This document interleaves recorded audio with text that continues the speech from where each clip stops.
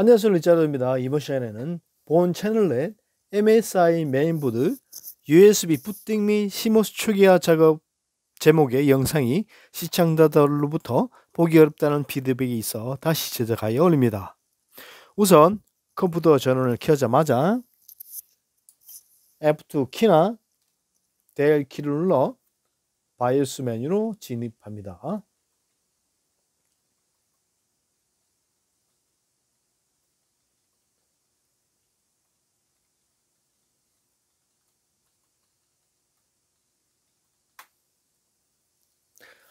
본 화면이 MSI 메인보드의 바이오스 메뉴입니다. 운영체제 설치를 위해서는 USB를 부팅 장치로 설정해야 합니다. 부팅 장치 설정에는 두 가지 방법이 있습니다. 첫 번째 방법은 본 화면 상단부에 있는 Boot Priority 항목에서 간단히 설정하는 것입니다. 여러 가지 장치 중 UEFI USB Key SanDisk Partition 1을 선택 후 맨 왼쪽 위치로 이동하면 됩니다. 두 번째 방법은 보다 자세한 설정을 위해서 F7 키 또는 상단의 Advanced를 클릭하여 세팅으로 들어갑니다. 여러 가지 항목 중 Boot를 클릭합니다. Boot 항목에서 Boot Mode Select를 Legacy Plus UEFI로 설정합니다. 그런 후 Fixed Boot Order Priority에서 Boot Option Number 1으로 들어갑니다. 여러 가지 장치 중 UEFI USB Key SanDisk Partition 1을 클릭합니다.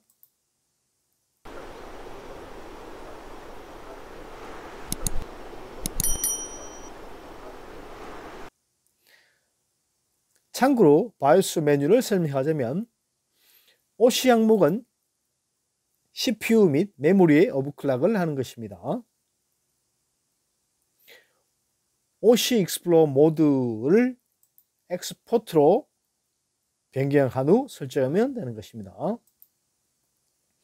OC 아래쪽에 있는 M Flash 항목은 바이오스 업데이트를 위한 기능 설정입니다.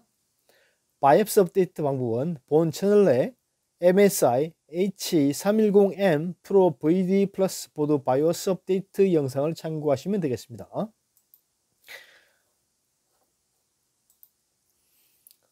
하드웨어 모니터 항목은 CPU 및 시스템 전체의 온도를 모니터링 하는 것입니다. F10 키를 눌러 변경한 내용을 제작한 후 재부팅하면 USB로 부팅할 것입니다.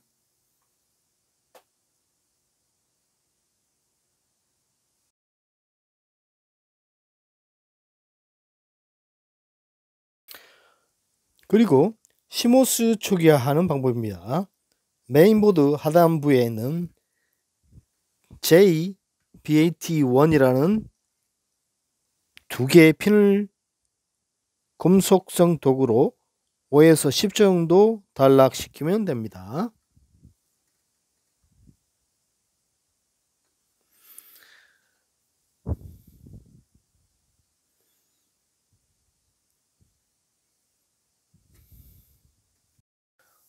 그런 후 F1 키를 눌러 메인보드에 Optimized Default를 할 수 있는 핫키를 찾습니다. 본 메인보드에 Optimized Default의 핫키는 F6입니다.